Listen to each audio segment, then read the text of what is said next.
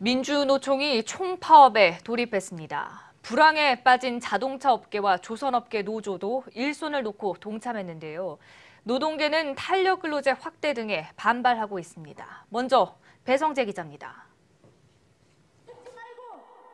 서울 여의도 국회 앞에 수천 명이 집결했습니다.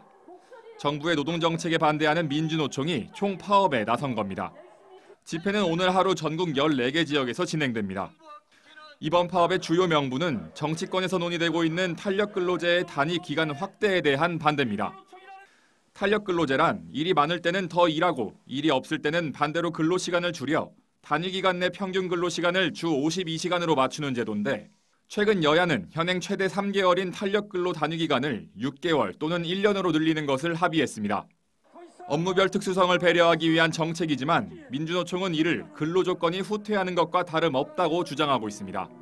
가뜩이나 제조업의 불황과 대내외 악재가 쏟아지는 상황에서 나온 파업 카드에 대한 시선이 곱지만은 않습니다. 홍영표 더불어민주당 원내대표도 최고위원회의를 통해 민주노총의 파업에 유감 의사를 밝히고 경제사회 주체의 중요한 구성원으로서 전향적인 태도를 촉구한다고 말했습니다. 특히나 최근 불황에 빠진 자동차, 조선업계 노조도 이번 파업에 동참했습니다.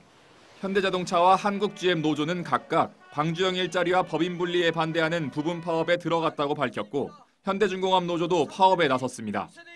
이런 가운데 노사관계 논의의 장을 위한 경제사회노동위원회가 내일 출범식을 가질 예정이지만 노조 측 위원회 인사들은 국제노동기구 협약에 따라 노조의 권리를 크게 확대하자는 입장을 고수하고 있습니다. 최악의 내수 부진과 대외 불확실성이 높아지며 우리 경제가 위기에 처했지만 이를 외면한 노동계는 길거리로 나서고 있습니다. 한국경제TV 배성재입니다.